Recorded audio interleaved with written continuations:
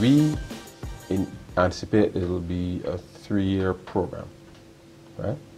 Now, of course, that depends very much on us making sure that we reach the targets. And so therefore, the reason that, well, you haven't seen me around is because we've been putting things in place to make sure that we are in a position that once we reach an agreement, that we can effectively monitor and evaluate where we are so that when we're reporting on a quarterly basis that I know next month where we are with respect to that target.